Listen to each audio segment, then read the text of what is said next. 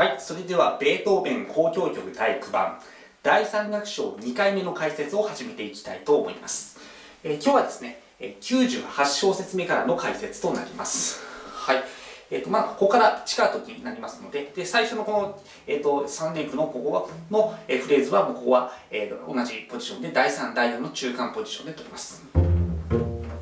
ちらでもまとめて取ってください。はい。で、まあ、指揮者によってはここで、えっと、3連符に振り分けてリタルダントを取る場合もありますので、その場合はテンポ感に注意していただきたいと思います。はい。で、その次の小節から8分の12拍子になりますけれども、まあ、テンポは、あの、先ほどの、えっ、と、テンポプリモの、えっ、と、冒頭のテンポと同じ、えぐらいのテンポというふうに思っていただきたいと思います。はい。で、えここから、まあ、3連符の形を追って、ピッチカートが続いていきます。で、えっとここが120ピッチカートは120小節目まで、えっとずっと続いていきます。で、このオクターブの、えっと形がほぼ続きますので、このオクターブを基本的に同じポジションで、え取るという形になります。まあ、それを意識していただければ、まあ、あのこの辺はもうほとんど問題ないと思います。はい。で、えまあ、あえて、まあ、えっ、と、ちょっと難しい、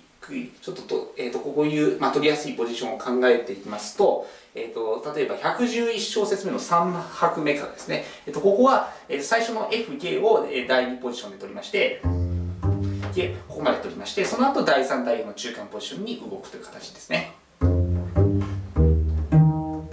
ちらですね。こちらで、えー取っていただきたいと思います。そしてその次の116小節目のこれも3拍目からなんですけれども、えっとこの、えっと F、米、そして S という、まあ、5, 5度で降りていく形ですけれども、ここも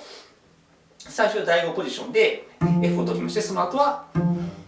第3第4中間ポジションでもこちらで、えっと D 線と A 線で取ると、えっと非常に取りやすくなります。でここで取りますとその次の小節もえポジションを変えずにもうオクターブが取れますのでこちらで、取っていただきたいと思います。はい。そして、えー121小節目のアークタクトから、えー、とアルコに変わります。でここは、まあ、あの金管楽器と共通している、まあ、テーマの部分になりますのでしっかりフォルテで弾いていただきたいと思います。でで最初は、まあ、ハーフポジションでその後はまた第3第4の中間ポジションで、ねはい、そしてその後も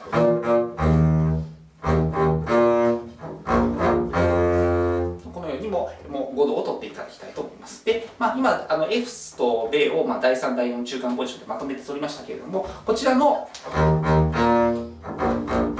ハーフポジションで、えー、とその最後の米 F の形とまとめて取っていただいても構いません。はい。そしてその後もまたピッチカードが続いていきます、まあ、ここもオクターブの形が、続いていきますので問題ないと思います。はい、で127小節目から再びアルコになりまして、えっとこのボーイングなんですけれども、まあ、ピアノっていうふうに書いてますので、まず最初は、まあ、アップ。最初のベもはアップで入っていただいてその後の F もアップで入っていただいてそして、えっとその次の128小節目の、えー、D から弓順で、えーやっていただいてその後は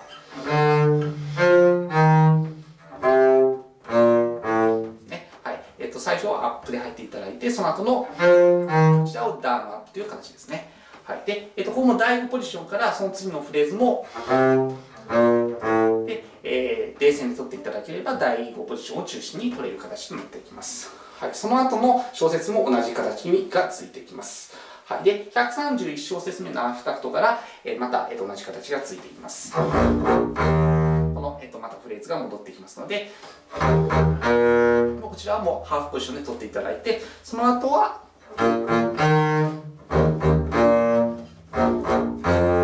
このような形でも第3第4の中間ポジションでまとめて取っていただければ問題ないと思います。はい、えー今日は中途半端なんですけれどもここまでとさせていただきます、はい。えー特にあの8分の12拍子になってからもうビチカートが続いていきますので、まあ、特に、えーとでえーとピチカートの、えっと表記が98小節目からはない、えそのそれまでずっとありませんのでそこであのたまにあのピチカートを忘れてしまうという方が、まあ、若干おられますので、ね、その場合は忘れたように必ず手書きであの表記を、えつけていただきたいと思います。はい、第3楽章2回目の解説は以上になります。ではまた次回。